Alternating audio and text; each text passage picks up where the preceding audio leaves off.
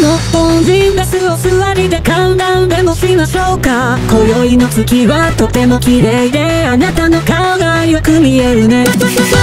ないみをしてあなたの髪を首に巻いたら今日はもう寝よう乾きは言えた。ぬくもりなんてものを払う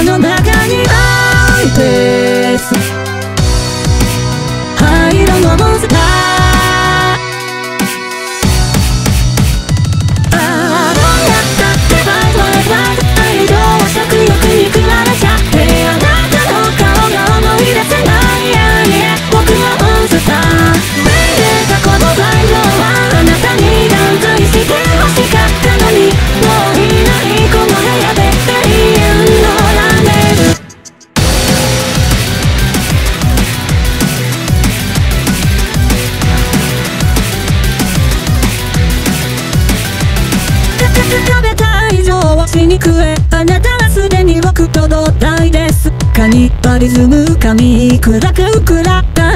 さよにしいよるあなたと色の声みんな同じ顔して眠るのですそれが最後の安らぎと知らずに夢を見てることでしょう